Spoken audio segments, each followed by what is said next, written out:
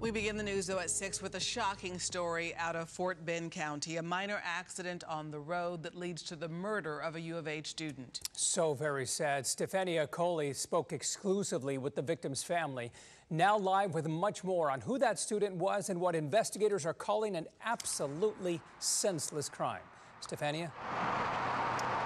And Gina, there really is no other way to describe this. Since the surveillance video that I saw, which we're unable to share, it's really within seconds that this driver gets out and fires at this U of H student. I counted six times that that gun went off.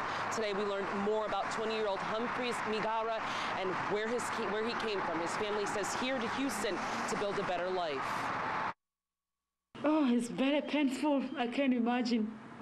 It's gone forever. Hard to imagine processing something like this an innocent life taken over a car accident. Just a minor accident. The driver just come out and shoot my son like that. Deputies say 20 year old Humphreys Maguire accidentally collided with a car here near Beechnut and Addicks Clodine. The accident was minor, but still, the driver of the other car decided to get out and shoot Humphreys several times. According to investigators, he was killed. I can't see my son again.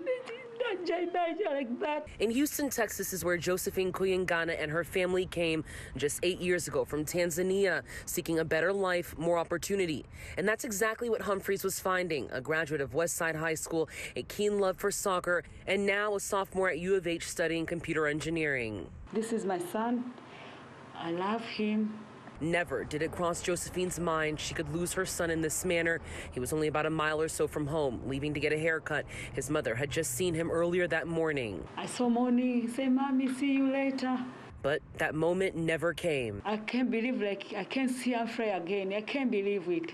According to investigators, it was 19 year old Victor Antonio Ramirez who took Humphrey's life, charged with murder, granted a $500,000 bond. Why even give him the opportunity to get out at all? Killed my brother for no reason senseless, like pointless. Humphrey's family hopes to send his remains back to Tanzania for his funeral. They've set up a GoFundMe page to help with the process. I'm Stefania Coley, ABC 13 Eyewitness News. Now to some breaking news, and this is out of southeast Houston. Police say a man was shot and killed on Connolly Street. That happened uh, about 1 o'clock today. They believe a man shot one of his family members, then ran from the scene.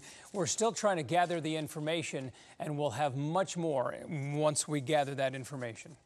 And there's more breaking news out of Northeast Houston. Sky flying over the scene of another deadly shooting involving a family member. This happened about 2.30 on Sarah's Lane. Police say a woman shot and killed one of her family members and was arrested at that scene. There is no word at this point on the relationship between the shooter and the victim. Well, this just into the newsroom. We have new information now regarding the funeral arrangements for Precinct 4 Deputy Constable Kareem Atkins, who was shot and killed just days after coming back to work from paternity leave. His visitation is next Monday, October the 25th at Champions Forest Baptist Church. It will be open to the public at 11 a.m. A funeral service will follow at 2 o'clock. Deputy Atkins will be buried at Klein Memorial Park Cemetery. And authorities are calling that shooting an ambush at the nightclub where he was shot and killed. It happened at the 45 Norte Bar and Lounge just off the North Freeway near Cross Timbers. ABC 13's Brooke Taylor spoke to a family friend of the victim. Deputy Kareem Atkins, this is where he was shot and killed over the weekend after responding to a disturbance call in this parking lot right here. Now, I've been in touch with his wife all day long as you can imagine, really tough right now. She didn't want to speak just yet, but she put me in touch with a man who was like a father to her husband. He says this is a family man and he died doing what he loves, which is serving his community. And over here, a memorial is put right in this area where people have been coming to put things down in his honor. This picture is one of the last times Deputy Kareem Atkins would be seen holding his baby tightly in his hands. He was so happy. You know, he was he was truly what a father is. You know, he was he was excited about the newborn. He was uh, his little girl had just had her second birthday. Jimmy Vitella was like a father to 30 year old Kareem Atkins. Atkins was a deputy for Precinct 4 Constable's office since 2019. On Saturday, he was gunned down while working security for a bar. It was awful. I just, I'd rather not talk about that right now that's okay. Atkins moved to Houston from New York in his early 20s. One of his first jobs here was working for Vitella's car dealership. The two hit it off and quickly formed a close bond, spending holidays together and becoming family. Kind of took him under my wing, and my wife, you know, started calling us mom and dad. Atkins told Vitella his lifelong dream was to become an NYPD officer, so he wasn't too surprised when Atkins decided to pursue his passion as a deputy. I thought I talked him out of it, you know, I didn't. And so I just told him, you know, uh, please be careful. But those who knew Atkins knew his other love, which was his family. He had a two year old daughter and a six month old son. Vitella says he'll continue sharing Atkins' legacy.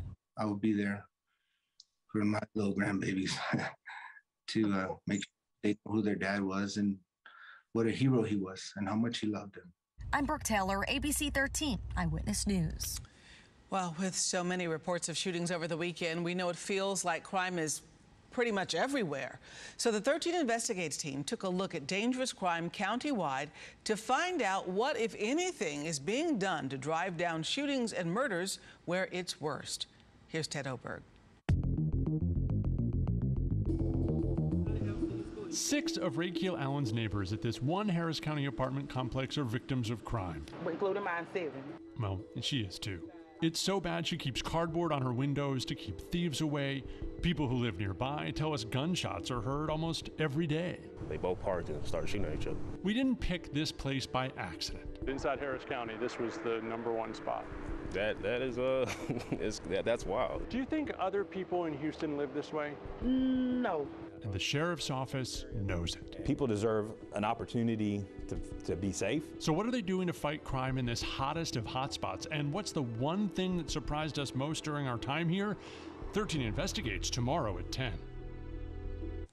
It is so disturbing. And speaking of shootings, one person is dead and several others are injured after an argument led to gunfire in Galveston earlier this morning. It happened along the Seawall Boulevard early this morning, about 4 a.m. Officers happened to be nearby. That nearby, they drove and heard the gunshots to where the scene is. Police passed a dark-colored SUV speeding away from that area. They pulled that driver over and realized two people inside had gunshot wounds. One person was detained, and as we said, one person found dead at the scene. Officers are still gathering the information. If you know anything about this shooting, call Galveston Police at 409 765 3770. Turning now to the very latest on the COVID 19 pandemic, and there is some good news to report today. The number of cases and hospitalizations continue to improve across the country. Although cases still remain high, with an average of about 85,000 new infections a day as of Sunday, they're still down by more than 8,000 from last week. As of Sunday, 57% of the total population has now been fully vaccinated against the virus. Meantime, a CDC panel will meet this week on recommendations for Moderna and Johnson & Johnson boosters, and if they sign off, those could be available by the end of the week. All right, let's talk about what everyone's talking about tonight, watching this so very closely. Yes, game three of the ALCS. It kicks off in less than an hour. At this time, the Stros right now, of course, uh, getting their back batting practice in over there in the Red Sox in their city, not ours. Yes, ABC 13 sports anchor Greg Bailey is in Boston now with the preview of tonight's big game. As we close in on the first pitch tonight, game three for the Astros and the Red Sox. One big surprise in the Astros lineup tonight. Jose Siri gets the start in center field. Dusty Baker with what I would call a bold move, putting in the 25 year old Siri. What a remarkable rise to get to this point. Eight years in the minor leagues, four different organizations. The Astros think they really have something in Siri. They've harnessed the incredible raw skills that he has just 21 games this summer in the Astros lineup, but he did hit four home runs, impressed everybody with his work ethic and some of that home run power and speed. Dusty explaining his decision to go with Siri tonight in center field here in a tricky Fenway Park. You know, they got a huge right center field out there, and, uh, you know, he can cover the ground and he can also uh, throw to stop uh, you from scoring on a double uh, from first base, uh, limit triples, plus the matchup, you know, he hits better against left-handers. Just everything pointed towards him starting today. Dusty Baker adds this after Jake Meyers had that outfield collision game four in Chicago. Meyers has made good progress. He could return to the Astros lineup as soon as tomorrow. At Fenway Park with the Astros, Greg Bailey, ABC 13 Eyewitness Sports.